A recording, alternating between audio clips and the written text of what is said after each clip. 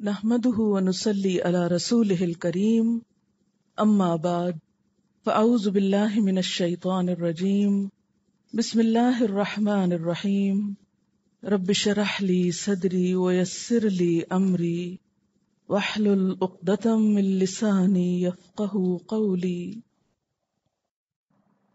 या अय्युहल्लज़ीना आमनू ए लोगो जो ईमान लाए हो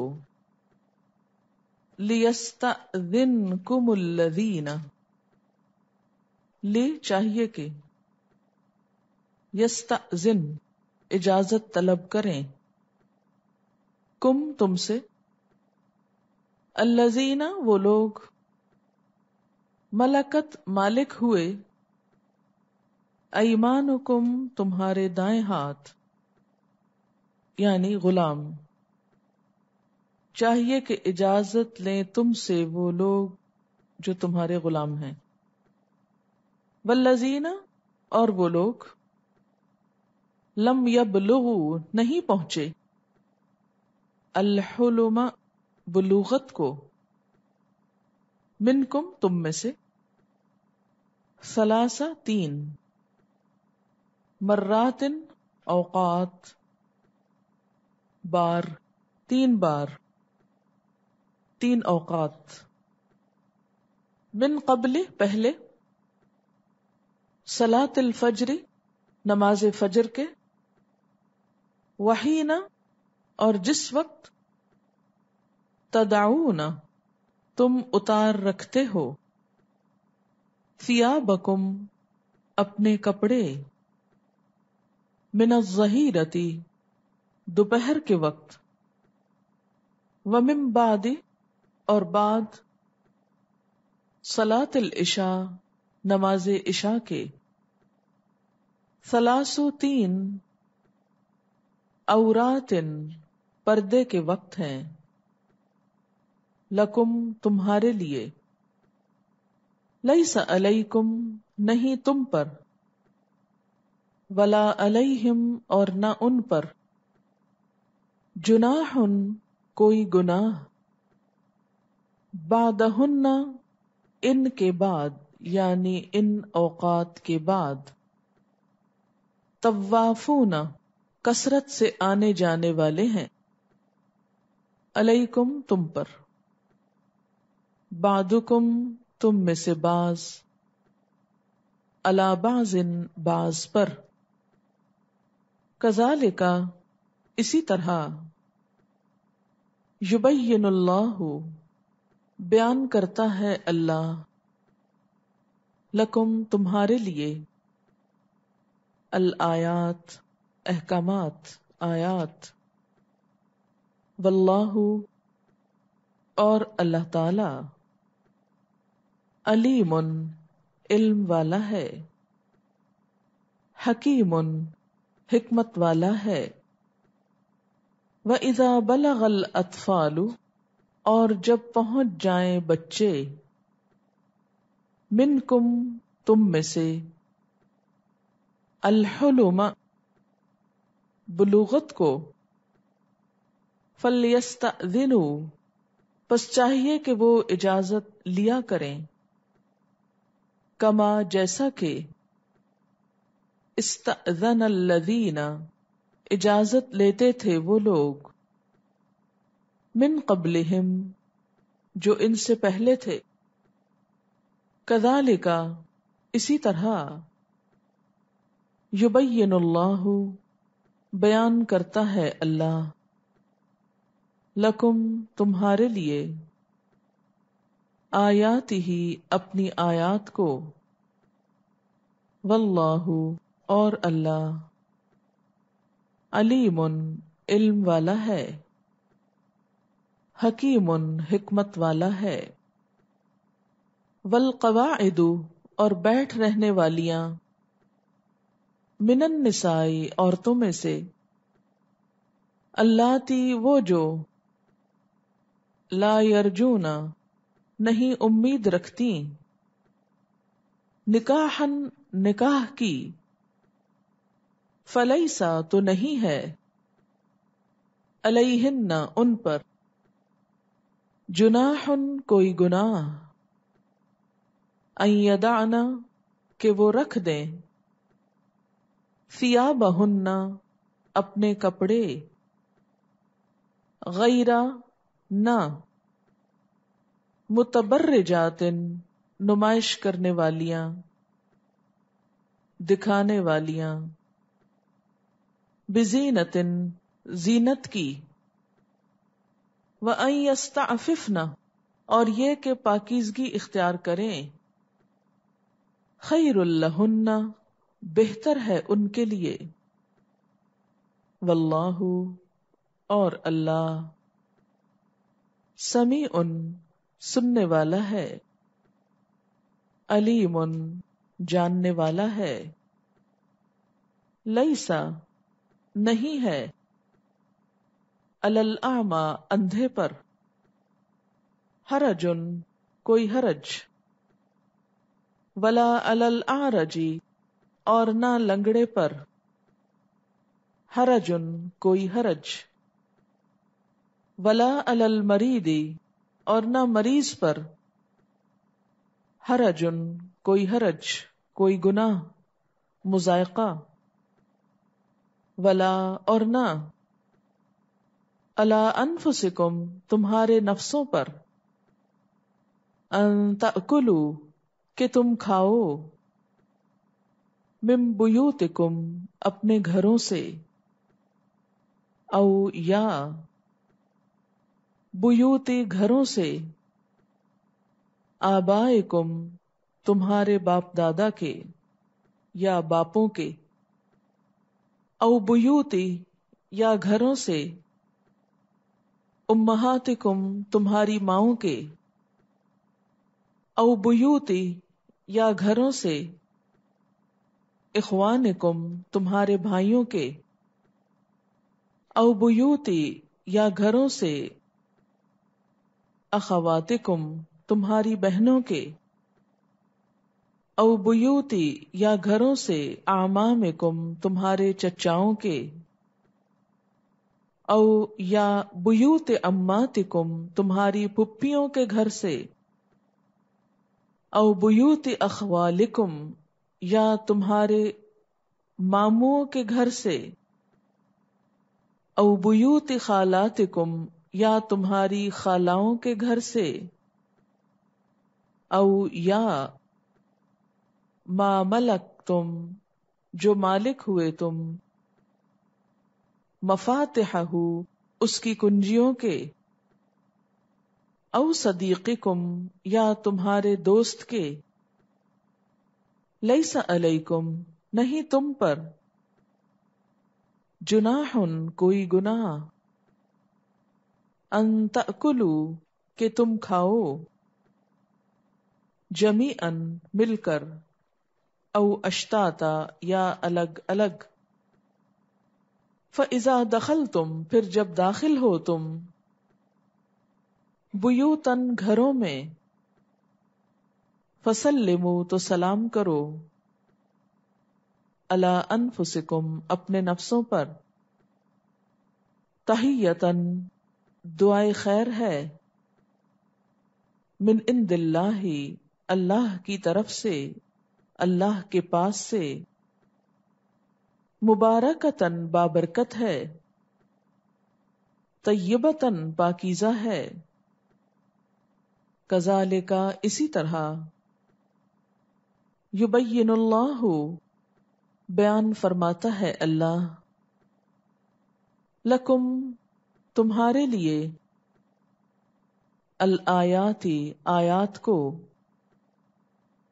लअल्लकुम, ताकि तुम ताकिलून, तुम अकल से काम लो। इन्नमल मुमिनूना, बेशक मोमिन लोग। अल्लजीना, वो लोग हैं। आमनु, जो ईमान लाए। बिल्लाहि व रसूल ही अल्लाह के साथ और उसके रसूल के साथ। व इजा कानो, और जब वो होते हैं माहू उसके साथ अला अमरिन किसी काम पर। जाम इज्तिमाई। लम यजहबू, जाते नहीं हैं। हत्ता यहाँ तक के यस्तदिनूहु इजाज़त ले लें आपसे। इन लजीना बेशक वो लोग। का जो इजाज़त मांगते हैं आपसे। उलाए कल्लजीना यही वो लोग हैं। युमिनून बिल्लाहि व रसूली जो ईमान लाते हैं अल्लाह पर और उसके रसूल पर। फइदा फिर जब इस्तनु का वो इजाज़त मांगे आपसे। लिबा दिशा निहिम अपने बाज काम के लिए। फन तो इजाज़त दे दो। लिमन, जिसके लिए? शिता, चाहो तुम। मिन हम उनमें से। वस्त फिर लहुम, और बख्शिश मांगो उनके लिए। अल्लाह अल्लाह ताला से। इन अल्लाह बेशक अल्लाह ताला। गफूर रहीम गफूर रहीम है। ला तजालू ना तुम बनाओ, ना समझो। दुआ और रसूली, रसूल के बुलाने को। बई नकुम आपस में। कदुआए मानिंद बुलाने। बाजिकुम बाजा। तुम में से बाज के, बाज को कद तहकीक। यालमुल्लाहु, जानता है अल्लाह। अल्लदीना, उन लोगों को। यतसल्लूना जो खिसक जाते हैं। मिनकुम तुम में से। लिवाजा आड़ लेते हुए। फलियाहजरिल लजीना बस चाहिए कि डरे वो लोग। युखालिफूना, जो मुखालफत करते हैं। अन अमरी ही उसके हुक्म की। तुसी बहुम के पहुँचे उनको। फितनतुन, कोई फितना। औ युसी बहुम या पहुँचे उनको। अजाबुन अलीम, अजाब दर्दनाक। अला खबरदार। इन लिल्लाही, बेशक अल्लाह के लिए है। माफिस समावाती, जो आसमानों में है। वल अर्द और ज़मीन में। कदिया अलमो तहकीक वो जानता है। मा अन तुम अलही, जो तुम उस पर हो, यानी जिस पर तुम हो। व यौमा, और जिस दिन। युरजाऊना, वो लौटाए जाएँगे। इलई ही उसकी तरफ़। फयुनबे तो फिर वो बता देगा इनको, बिमा आमिलू, जो इन्होंने अमल किए। वल्लाहु और अल्लाह। बिकुल्ल शई इन आलीम हर चीज़ को जानने वाला है। तफसीर है आज नंबर 58 से अट्ठावन। या अयुहल्लदीन आमनु ए लोगो जो ईमान लाए हो। लियस्तदिनकुमुल्लदीन मलकत अईमानुकुम वल्लदीन लम यबलुगुल हुलुम मिनकुम सलास मर्रात। ए लोगो जो ईमान लाए हो, लाजिम है कि तुम्हारे ममलूक और तुम्हारे वो बच्चे, जो अभी अकल की हद को नहीं पहुँचे तीन औकात में इजाज़त लेकर तुम्हारे पास आया करें। कौन से हैं वो तीन औकात? मिन कबल सलातिल फज्र, सुबह की नमाज़ से पहले। वही न तदाऊ मिन जहीरती, और दोपहर को जबकि तुम कपड़े उतार कर रख देते हो। वह मिम्बाद सलातिल ईशा और ईशा की नमाज़ के बाद। सलास औरात लकुम ये तीन वक्त तुम्हारे लिए पर्दे के वक्त हैं। लईसा अलैकुम वला अलैहिम जुनाहुन बादहुन। इन औकात के बाद न तुम पर कोई गुनाह है और न उन पर। तवाफून अलैकुम बादुकुम अला बाद। कसरत से आने जाने वाले हैं तुम पर, बाज तुम्हारे, बाज पर। यानी तुम्हें एक दूसरे के पास बार बार आना ही होता है। कदालिक युबैनुल्लाहुलकुमुल आयात। इस तरह अल्लाह तुम्हारे लिए अपनी आयात, अपने अहकामात, अपने इर्शादात बयान करता है, वाजह करता है। वल्लाहु अलीमुन हकीम, और अल्लाह इल्म वाला है, हिकमत वाला है। इन आयात में एक दूसरे इस्तीजान का हुक्म बयान किया जा रहा है, जिनका ताल्लुक अकारिब और उन महारिब से है जो अमूमन एक ही घर में रहते हैं और हर वक्त बाहम मेल मुलाकात होती रहती है और उनसे औरतों का पर्दा भी नहीं होता। पिछले जब हम इस्तीजान के अहकाम देखते हैं तो उनमें यह बात पता चलती है कि नामहरम लोग या गैर लोग जब घर के अंदर आए तो बाकायदा इजाज़त लेकर आए। और जब तक इजाज़त न मिले, अंदर दाखिल ना हो। लेकिन ज़ाहिर है कि घरों में सिर्फ़ नामहरम ही तो नहीं आते, या गैर लोग ही तो नहीं आते। घरों में अपने बच्चे वगैरह भी आते हैं। तो ऐसी सूरत में उनके लिए भी पसंदीदा क्या है कि अचानक ना दाखिल हो? सलाम करके, नॉक करके, या किसी भी तरह आवाज़ देकर अंदर आए। फिर उसके बाद यह है कि घर के अंदर भी बाज मकाम ऐसे हैं जिनमें चंद मखसूस औकात में इजाज़त लेकर दाखिल होना होगा। और वो मकामात कौन से हैं?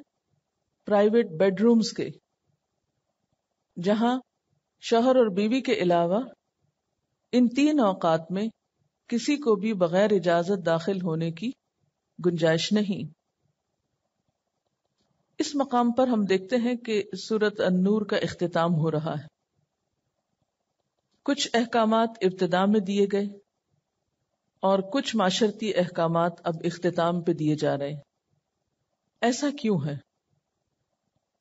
ये भी तो हो सकता था कि इस्तीजान के बाब के तहत ही ये सब बातें भी एक ही वक्त में कर दी जाती। लेकिन याद रखिए कि ये अहकाम वजाहत के तौर पर नाजिल हुए हैं। पिछले अहकाम के ततिम्मे के तौर पर नाजिल हुए इन दोनों अहकाम के दरमियान चार रुकू का फासला है। इब्तदाई अहकाम आने के बाद कुछ सवालात पैदा हुए थे लोगों के जहनों में। तो उनकी वजाहत दरअसल इन आयात में की गई। है अल्लाह ताला चाहते तो ये वजाहत भी पहले ही दर्जे पर नाजिल फरमा देते। लेकिन ऐसा नहीं किया गया। क्यों? इसलिए कि कुरान का अपना एक तरीके तालीम है। पूरे कुरान पाक का मिजाज अगर आप देखें तो आप जानते हैं कि तेईस साल में नाजिल हुआ है। और किसी तकरीर के अंदाज में नहीं जैसे जैसे हालात पैदा होते थे, उसके मुताबिक कुरान उतरता था। इसमें फ़ायदा क्या होता था कि लोगों को हकीकी रहनुमाई मिलती? क्योंकि जब मसला पेश आता है, मुश्किल सामने आती, उस वक्त अगर कुरान से आपको रहनुमाई मिलती है तो वो आयात आपको कभी नहीं भूलती। लेकिन अगर आउट ऑफ़ कॉन्टेक्स्ट कुछ चीज़ें महज इल्म की खातिर पढ़ाई जाती रहे तो वो इल्मी फ़ायदा तो होता है, लेकिन अमली फ़ायदा कम होता है। तो कुरान का अंदाज जो है इसकी जो तरतीब है, इसके अंदर जो तरीका है, वो तदरीज का है, यानी ग्रेजुअली नाजिल हुआ है। इसीलिए इसके लिए आता है लफ्ज नज्जल अल फुरकान। आहिस्ता आहिस्ता उतारा, तदरीजन उतारा। हालाँकि अल्लाह ताला के लिए मुमकिन था कि सब कुछ इकट्ठा ही दे दिया जाता, लेकिन हालात की मुनासबत से, जरूरियात के एतबार से जैसे जैसे ज़रूरत पड़ी, उसके मुताबिक हुक्म आता गया।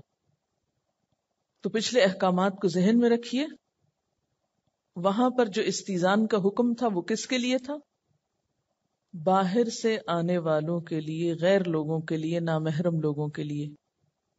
इसीलिए उसके फिर आगे कहा गया कि वो अपनी निगाहें झुका के रखें और बाकी अहकाम दिए गए। और घर में रहने वाली खातन को भी बताया गया कि जब ऐसे लोग घर में आए तो फिर उन्हें किस तरह बिहेव करना है? ये हुक्म जो है, ये घर वालों के लिए। या अयुहल्लदीना आमनू ए लोगो जो ईमान लाए हो लियस्ता कुम चाहिए कि इजाज़त लिया करें तुमसे। कौन?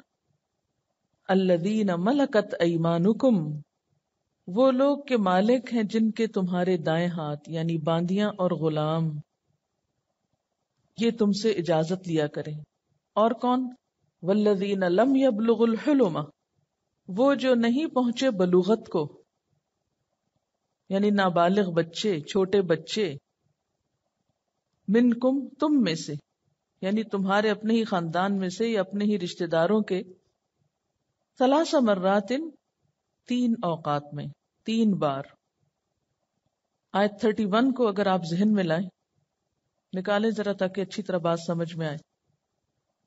अब आप देखें कि यगदुद न मिन अबसार हिन्ना व यहफज न फरूज फिर ये चलती जाती है, वला युबदी न जीनत हन्ना इल्ला मा जहर मिनहा, फिर आगे आता है, वला युबदीन जीनत हन्ना इल्ला लिबुलत हिन्ना उसमें आप देखें, आगे जाकर क्या आता है औ मा मलकत हन्ना ठीक है ना?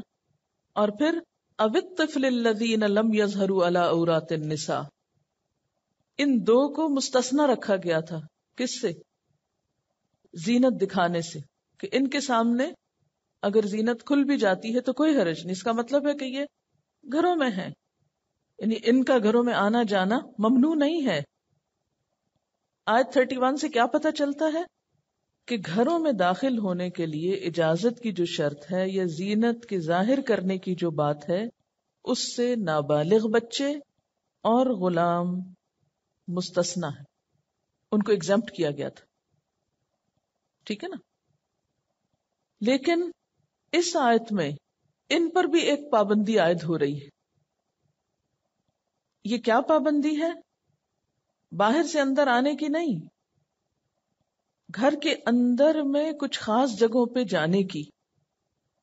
इससे पता चलता है कि एक औरत और एक मर्द का जो सतर है वो इनके सामने भी नहीं खोला जा सकता। मर्द का सतर मर्द से या बच्चों से क्या है? नाव से लेके घुटनों तक।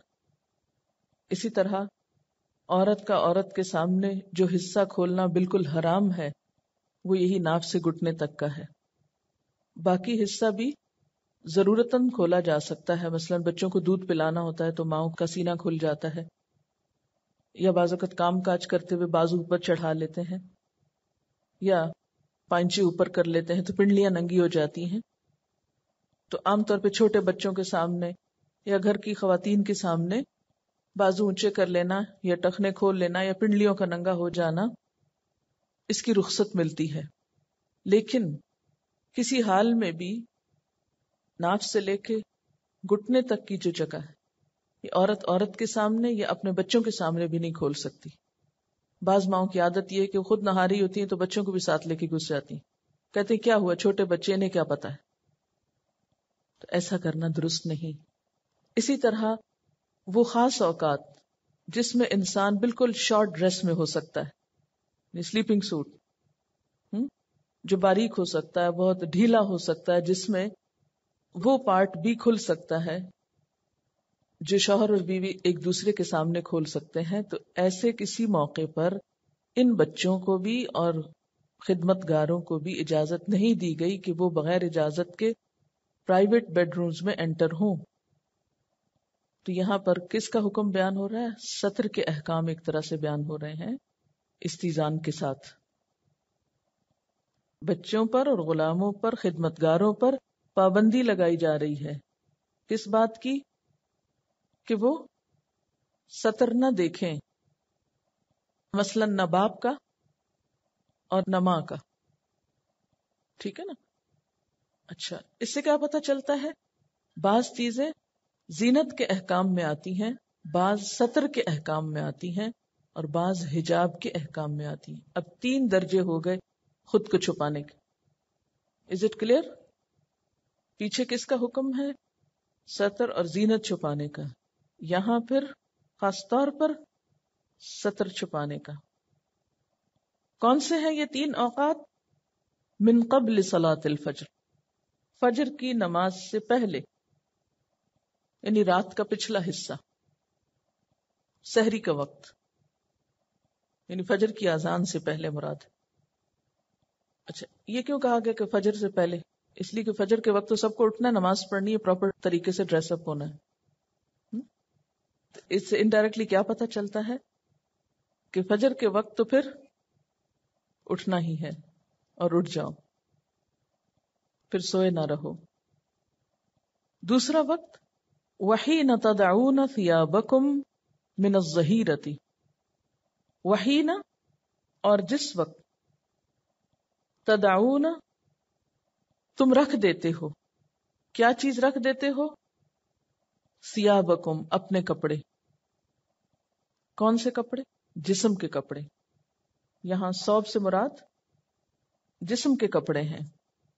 मिनस जहीरत जोहर के वक्त।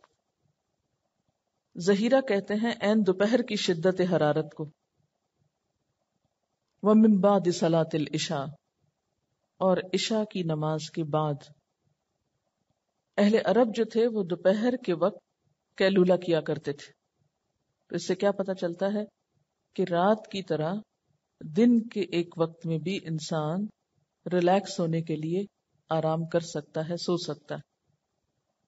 इसी तरह, तीसरा वक्त ईशा की नमाज़ पढ़ के सोने का है। हुँ? अगरचे इन बातों की वजाहत अहादीस से मिलती है, लेकिन इस आयत में सिर्फ़ सतर ही की बात नहीं पता चल रही, बल्कि ये भी पता चल रहा है कि कब से कब तक सोना चाहिए। हुँ?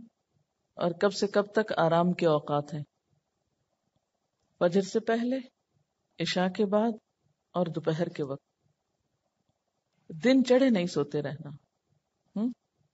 और फिर जोहर के बाद असर तक और असर से मगरिब तक नहीं सोते रहना, या फिर रात को जागते नहीं रहना बहुत देर तक सलास औरातिल्लकुम, तीन पर्दे के वक्त हैं तुम्हारे लिए औरात, औरत उनसे है। औरत का लफ्सी माना होता है खलल और खतरे की जगह। इसी तरह जिस चीज़ का खुल जाना बायस शर्म हो या नागवार हो, यानी औरत के लफ्सी मानों में।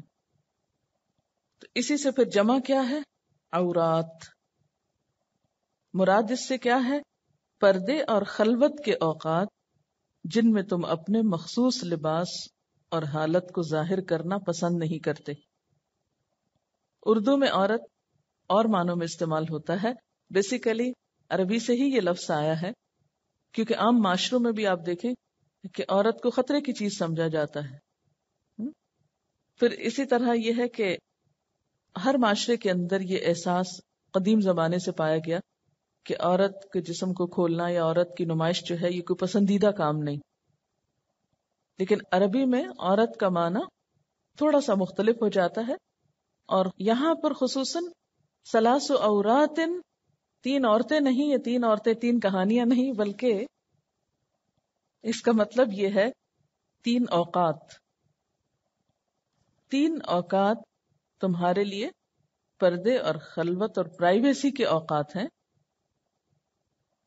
लईसा अलईकुम वला अलईहिम जुनाहुन।